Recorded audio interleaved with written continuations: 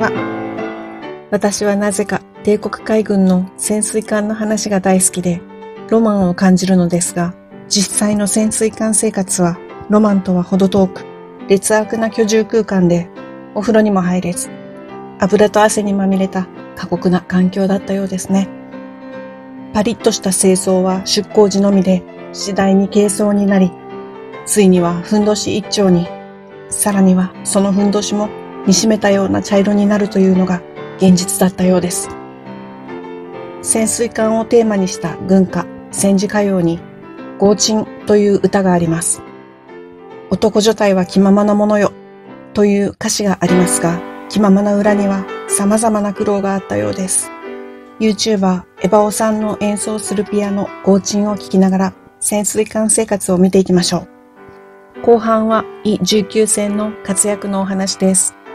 海軍史研究家のアメクラ氏は潜水艦乗員たちの日常はきつい、汚い、危険の 3K の代表と言っています。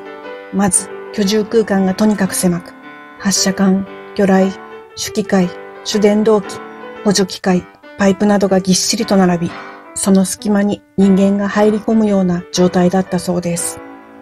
密閉された狭い空間で2ヶ月ほど一緒に行動しなければならないので、必然的に一つの大きな家族のような雰囲気になり、階級の上下なしに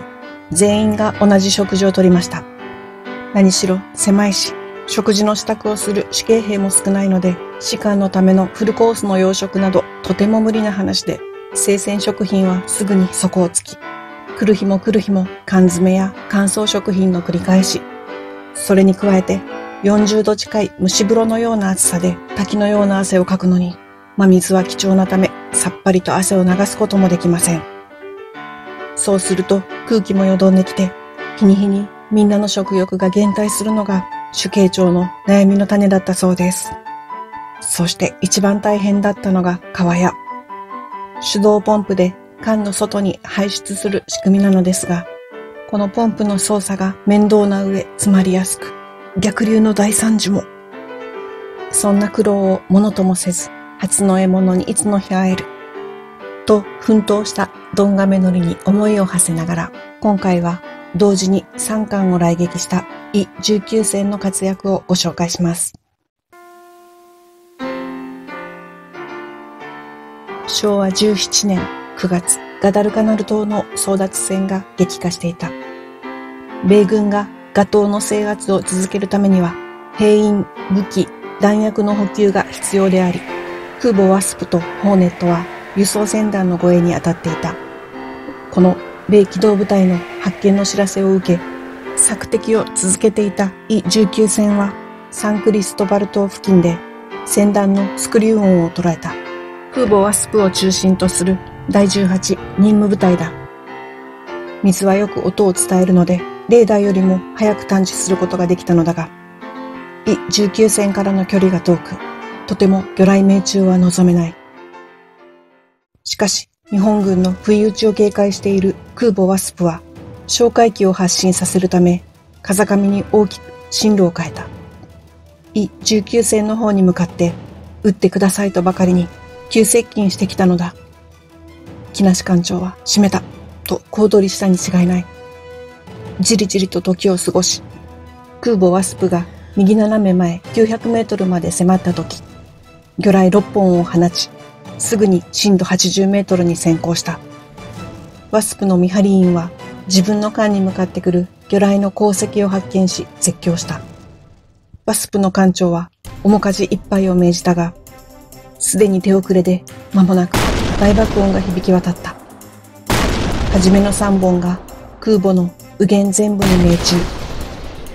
別の1本はワスプを護衛していた駆艦の下をくぐり抜けていった。それを乗組員が発見し、その先にいる空母ホーネット部隊に無線で知らせた。しかし、5、6回り、10キロメートルも離れているので、誰もその警告を本気にしなかった。すでにワスプは炎上し、その炎は空母ホーネット部隊からも見えたが、まさか自分たちのところまで魚雷が届くとは思っていなかったのだ。10km はどのくらいの距離かというと、徒歩で2時間から2時間半ほど。東京で言うなら新宿から浅草までの距離になる。しかし、帝国海軍が誇る酸素魚雷を侮るなかれ、10キロの距離をものともせず、一本の魚雷が空母ホーネット隊の戦艦ノースカロライナの左舷に命中。その直後に別の一本が駆逐艦オブライエンの艦首に命中した。イ19戦はこの日、発射した魚雷6本のうち5本が3隻に命中という華々しい戦果を挙げた。魚雷3本を撃ち込まれた空母ワスプは、次々と誘爆を起こし、消火作業も不可能となり、総員退官が命じられ、その日の夕方、友軍の魚雷によって海に沈められた。戦死者、負傷者合わせて550名に上った。戦艦ノースカロライナは船体に10メートルもの穴が開き、戦線を降り立つ。修理に3ヶ月を要した。駆逐艦オブライエンは応急修理後本国へ帰る途中、真っ二つに割れて沈没した。ワスプを攻撃された第18任務部隊は血眼になってイ19戦を探し、その後8時間にわたって80発もの爆雷を投下した。イ19戦は出口のない海の底で水圧に耐えうるギリギリの深さを保ちながら相手が諦めるまでただ耐えて逃げ回るしかない。もしかしたら次の爆雷でおだぶつかもしれない。生と死の狭間でおかしくなりそうになる。しかし、木梨艦長の卓越した精神力と技量で、イ19戦は何とか逃げ切ることができた。この時点では、ホーネット部隊まで撃破していたことをまだ知らなかったが、理想的な射程から放った魚雷と響き渡る大爆音に十分な手応えを感じていたので、エンタープライズ型空母撃沈確実と戦果報告をして乗組員一同ビールで祝杯をあげた。日頃の苦労も吹き飛ぶ最高の瞬間だったに違いない。